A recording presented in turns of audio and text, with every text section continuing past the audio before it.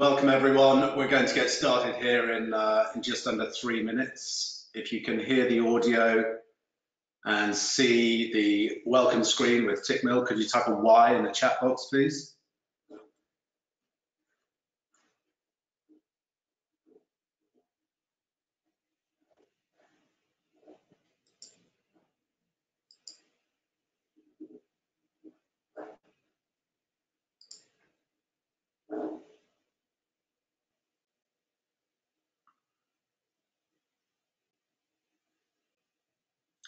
Great stuff. Thanks a lot.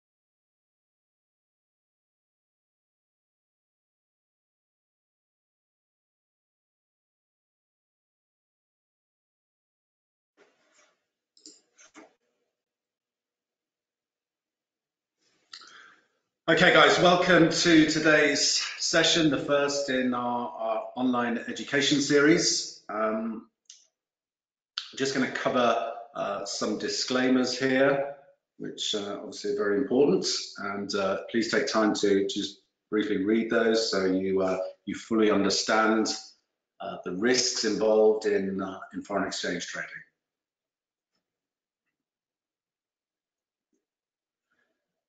So welcome to, uh, to the, as I say, to this, this first in our online education series. We, over the, the coming months, are going to be covering everything from the basics of foreign exchange, which we're going to look at today, uh, moving on to uh, what it means to actually be a trader, how we, uh, how we look to approach the markets to, to hopefully profit from trading strategies.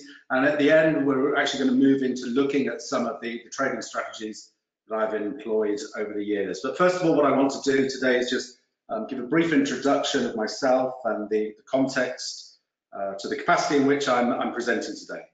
Uh, I've been trading personal and external investor capital for nearly 15 years. However, I haven't always been involved in markets. After graduating back in 98, I entered the world of consulting with a specific focus on executive search. After a couple of years working for a city PLC, I jumped ship and co-founded a boutique executive search firm that experienced some rapid growth and I eventually cashed in my stake in 2004. And post that exit, I had a chunk of capital and a whole bunch of time on my hands, so I decided to explore my passion for markets and interest that was piqued from having a front row seat to the dot-com boom and bust, seeing people make and lose fortunes overnight. I started trading the E-mini S&P futures in a market that was predominantly trending north, I cut some very lucky early breaks and started making some solid and then really some significant gains. However, as is a common tale, in this game, my beginner's luck reversed course pretty rapidly and I ended up giving back all my gains and then some. It was at this point I thought to myself, I either walk away from this or I commit completely and get really serious about this endeavor. So what I decided to do was I sought out a mentor who demonstrated excellence in the field of trading, and I started to seriously apply myself as a student of risk. It was a period during which I became considerably more self-aware. My mentor really helped me focus not just on my technical game, but more importantly, my mental game. By 2007, I had a solidly and extensively back-tested market approach, and more importantly, a documented business plan underpinned by a rigorous risk management strategy.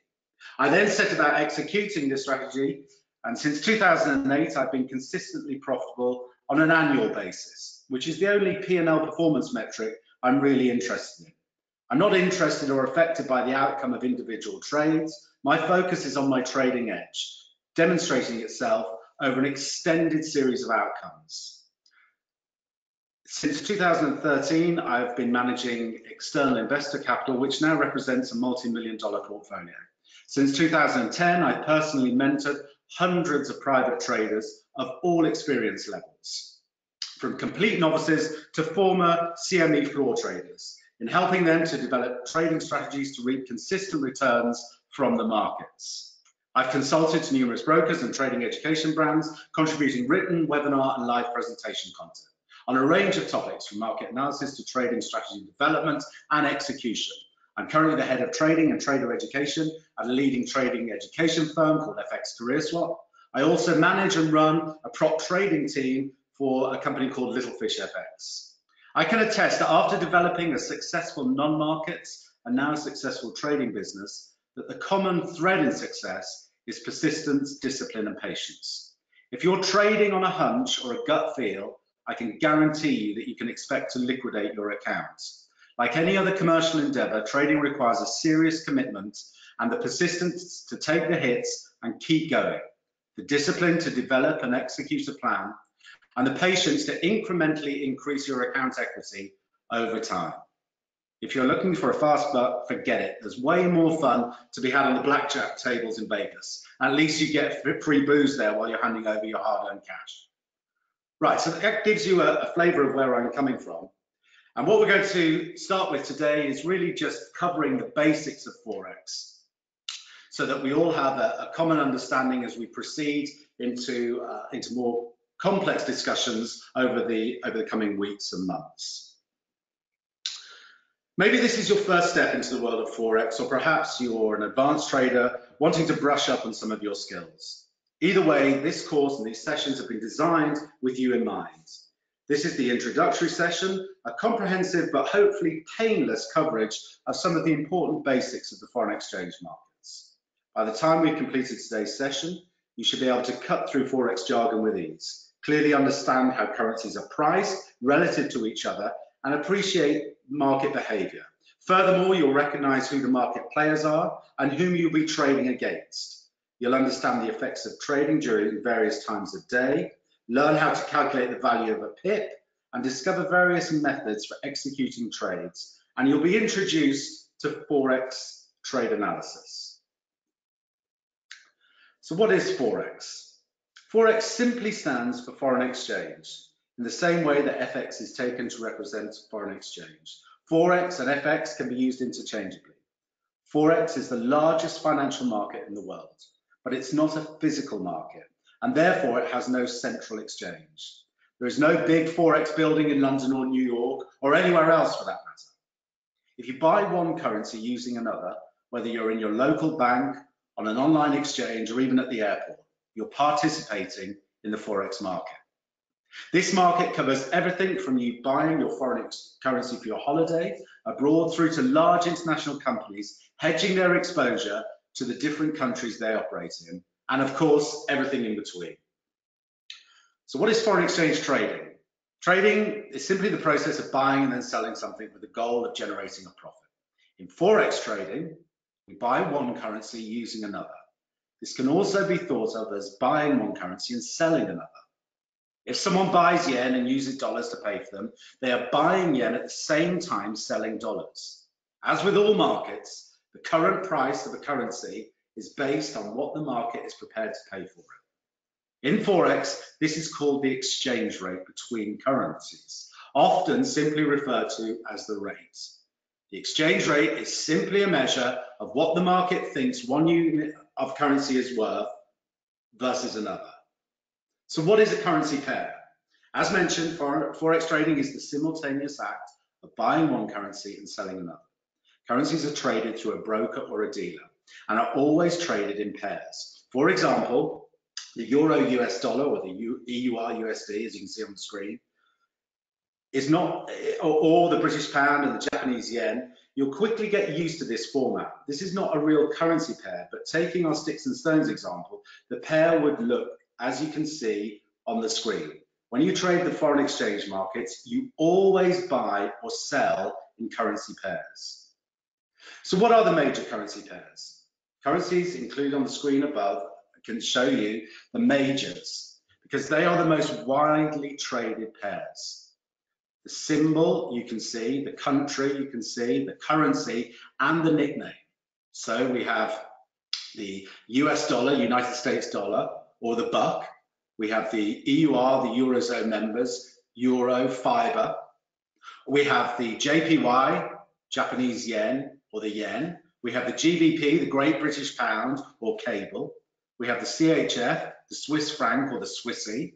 We have the CAD, the Canadian dollar or the loonie. We have the AUD, Australian dollar, or the Aussie. we also have the NZD, New Zealand dollar, or the Kiwi.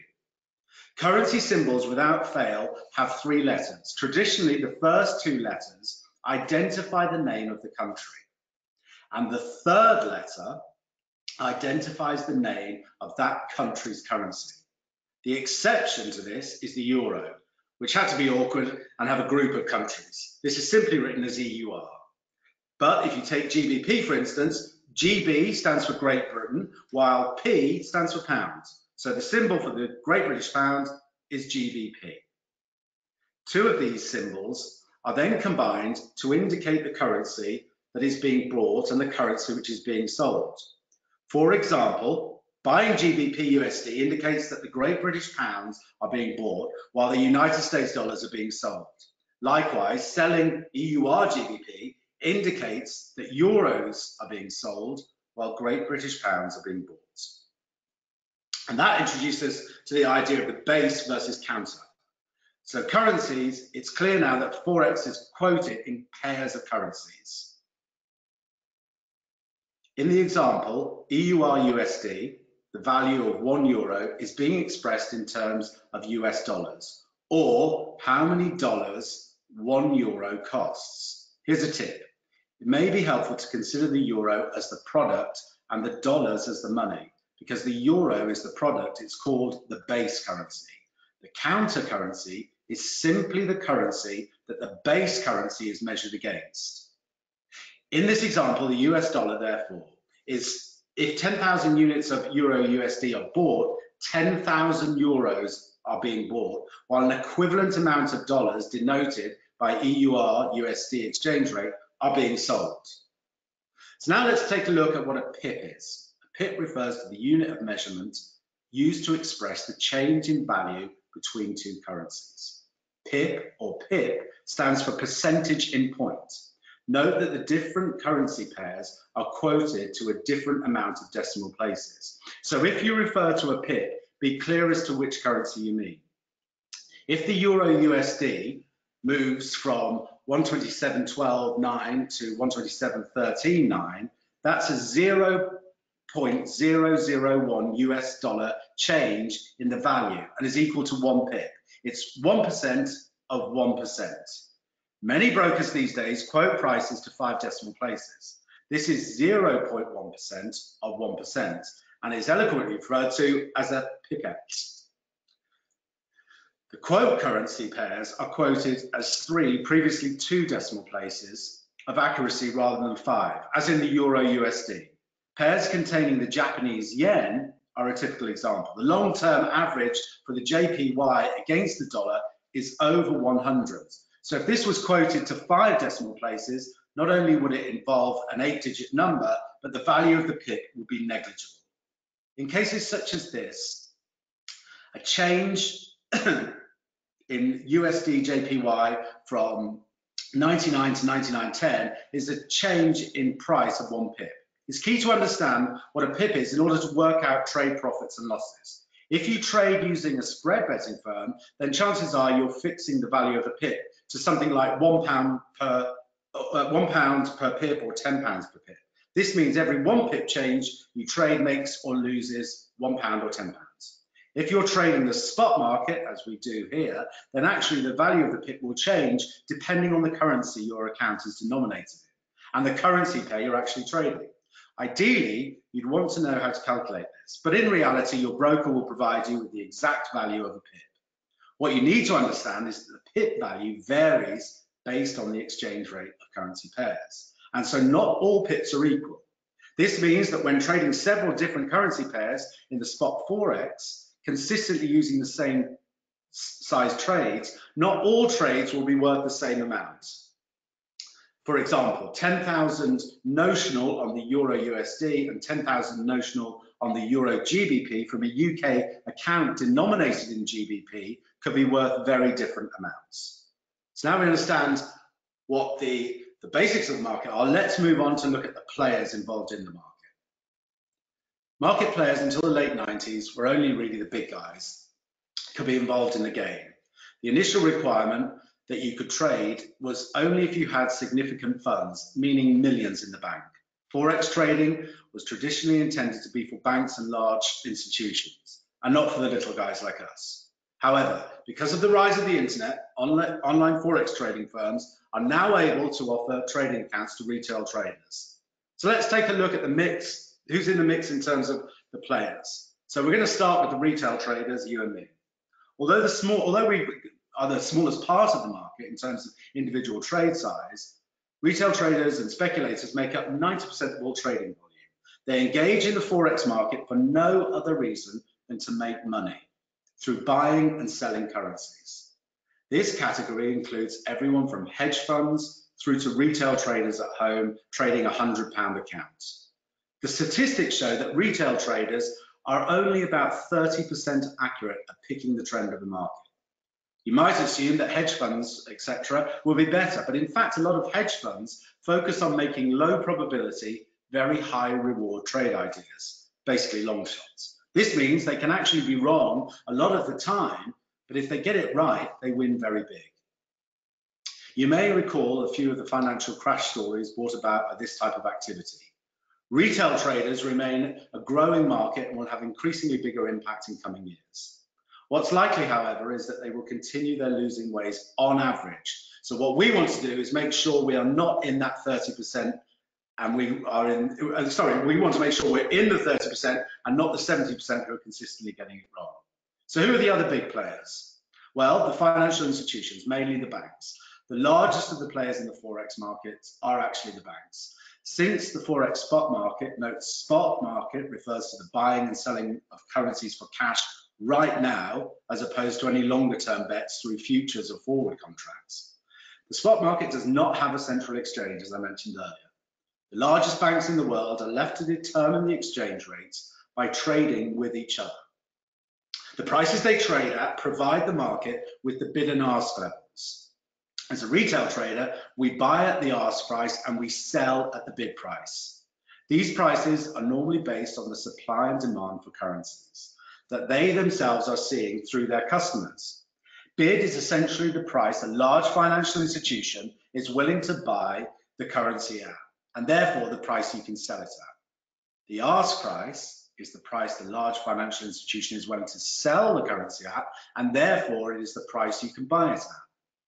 The reason that the bid and ask is reversed for the bank and the customer is because the bank is the market maker and the customer is the market taker. The bank is obliged to quote a price regardless of whether they want to trade or not. Their reward for this is the difference in the price between the bid and the ask, otherwise known as the spread. These large banks, collectively referred to as the interbank market, take on a large amount of Forex transactions each day for both their customers and for themselves. The real thing you need to know about the banks is that they are few people that have a full picture of the order book. They can often tell where moves will happen before they actually do. That said, banks also make money on commissions. So if they make more money through commissions on a losing trade, then they will take it. However, in the long run, you want to be on the side of the banks. This is why the COT report, the Commitment of Traders report, is often very powerful. And that's something we'll discuss in later sessions. Next in line are the governments and central banks. These guys are regularly involved in the Forex market. Just like companies, national governments participate in the Forex market for their operations, including international trade payments and handling their foreign exchange reserves. Meanwhile, central banks directly affect the Forex market when they adjust interest rates to control inflation or to stimulate growth. By doing this, they can effectively adjust their interest rates to control inflation or to stimulate more growth. All, all, with all else being equal, which it seldom is in forex markets, global money moves to the currency with the highest interest rate, thus driving up the price of that currency. There are also instances where the central banks intervene in the forex market, either directly or verbally, when they want to realign their exchange rates. Sometimes central banks think that their currency is priced too high or too low, so they start massive sell or buy operations to alter exchange rates. There have also been a lot of verbal interventions over the years, often referred to as forward guidance or rhetoric or even jawboning. It's important to keep an eye on this as it can often affect the overall tone of the market and therefore longer term trends in the currency. Finally, we have large commercial companies. These players are in the market that, that was basically originally designed for and built for them because large commercial companies take part in foreign exchange markets for the purposes of doing business. For example, major airlines are often required to buy fuel for their planes in a number of different countries, or car manufacturers need to buy car parts from all over the world. So they use the foreign exchange market to get the best deal on their currency needs. The key here is that the majority of these companies use the Forex market to protect themselves against adverse currency movements. This is called hedging. If a European company knows it has $10 million in invoices due in over the next six months, it will often lock in at today's exchange rate for the sake of certainty. To do this, they use forward contracts. These are derived from the spot price, but will differ slightly according to the length of time the, the exchange rate has to be locked in for. So now that you understand the players, the real trick comes down to who to follow. Retail traders are often right over the medium term time frame, but they are more often than not wrong in the longer term trends where the real money is made. Therefore, you should generally play against them in longer trends, remembering the two adages, don't follow the crowd and the trend is your friend. Banks will take small losing positions to earn good commissions, but tend to be right on any of the big moves. Therefore, we want to try and follow them. One final note of caution, be on the lookout for central bank action. They have the power to override the whole market just by using a well-placed sentence. So be sure to know when the high profile meetings and press conferences are scheduled, as these are always likely to impact the direction of the market. So now that we understand the players in the market, well, how do we actually participate in the market? How do we place orders? Well, Let's look at the types of orders. The term order refers to how you will enter or exit a trade. In this session, in this section now, we'll discuss the different types of orders that can be placed in the foreign exchange markets. There are some basic order types that all brokers provide, and some others that are a bit more complex. Be sure that you know which type of orders your broker will accept. Different brokers accept different types of orders. A market order is an order to buy or sell at the best available price. Essentially, you get into the market straight away at whatever price you can. Just remember, you buy at the ask price and sell at the bid price. A limit entry order. A limit entry order is an order placed to either buy below the market or sell above the market at a certain price. These are generally used when traders want to enter the market in a value area. For instance, if a trader thinks that the market is going to retrace from highs before moving higher again, he might use a limit buy below the current price so that when the market retraces, he can go long for the push higher. This is a useful technique if you can't watch the market 24 7, as these orders will fill automatically. But be aware, if the market doesn't retrace, you'll be left with an open position. Also, once you've placed an order such as this, it's easy to forget about it. So check regularly whether you have any open limit orders on your terminal. A stop entry order. A stop entry order is an order placed to buy above the market or sell below the market at a certain price. It is similar to the limit order, but typically used in breakout plays. Here, traders are waiting for a currency to break through a level before entering in the direction of the breakout they will place a stop entry order at the breakout level to get into the trade shortly after it breaks out. A stop loss order.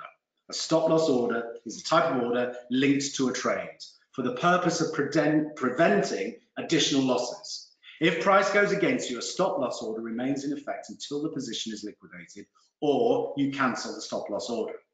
Stop losses are extremely useful for traders who don't want to sit in front of their monitors all day, worried that they'll lose money.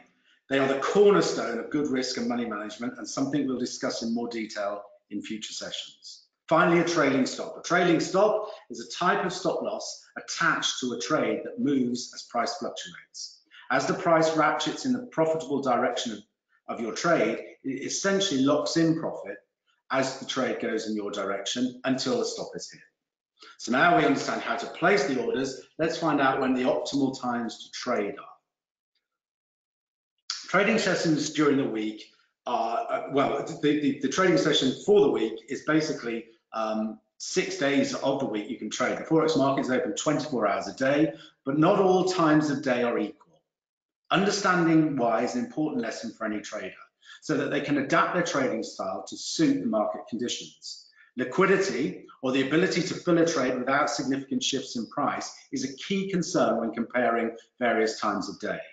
Highly liquid pairs like the Euro USD can soak up very large orders without blinking but more exotic pairs will likely slip more noticeably when a very large order is placed. This is because there are less counter orders in the market, meaning that the large order consumes all the nearby counter orders at various prices before eventually being fill, uh, fully filled. This effect is exaggerated during low liquidity times.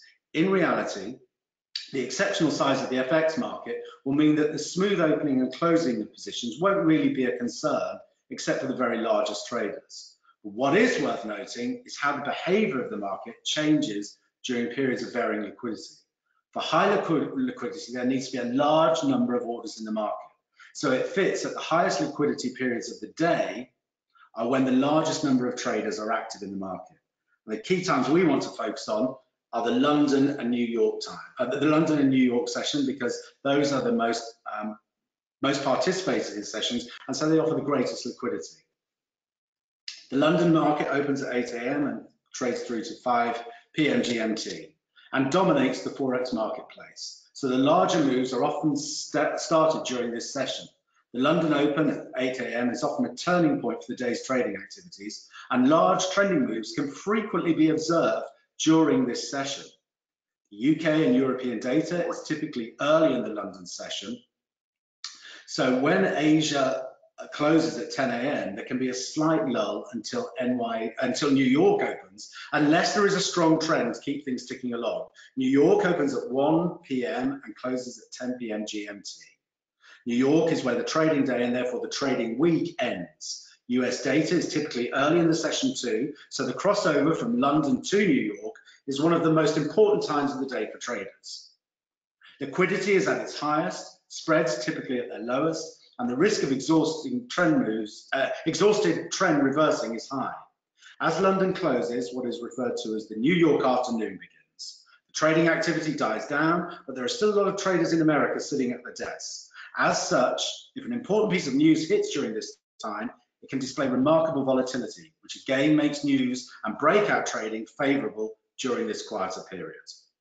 So now we have an understanding of when to trade, what we're thinking about now is how do we identify our trades? And principally, we're going to look at, well, we're just going to briefly introduce you now to the two types of core analysis.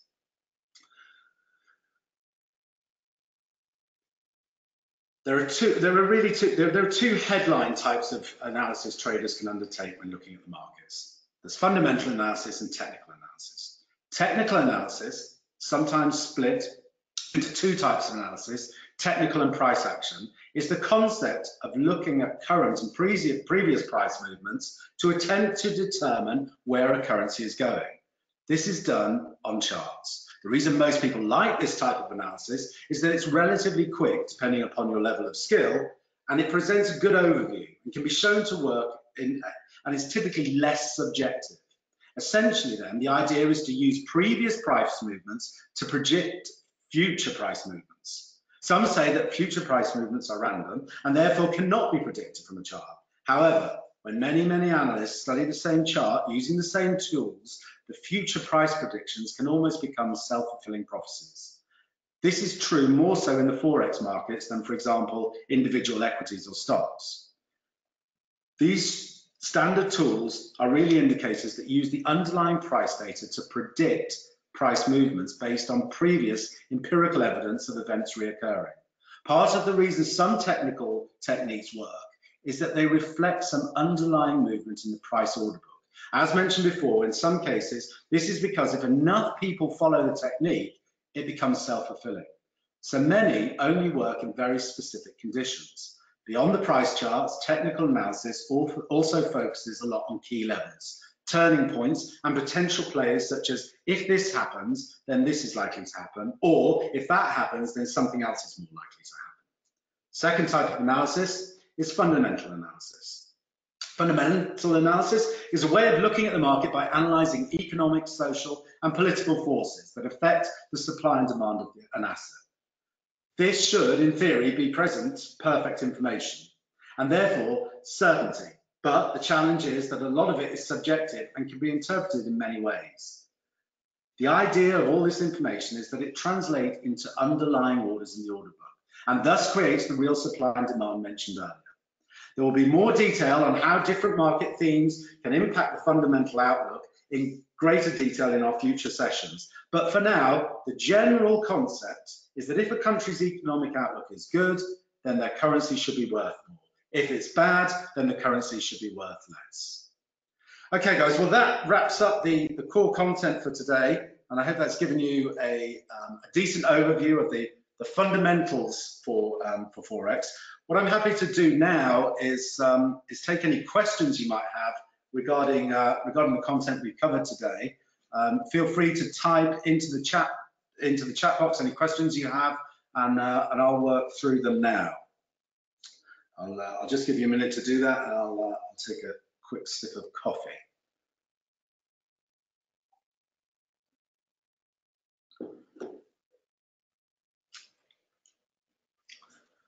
Again, if you want to just type into uh, into the chat box any questions that you have.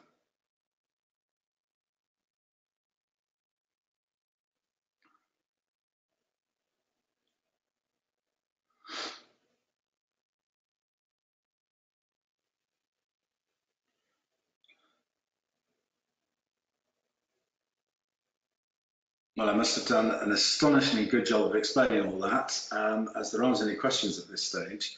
Um, well, if there aren't any questions, uh, I guess what we will do is, um, is wrap this up uh, here for today. Um, we're going to move into to next week's session. We're going to look at the importance of, uh, of a trading plan and the idea of, uh, of putting together a, a, a business plan and a trading plan to underpin your, your future success in, in the markets.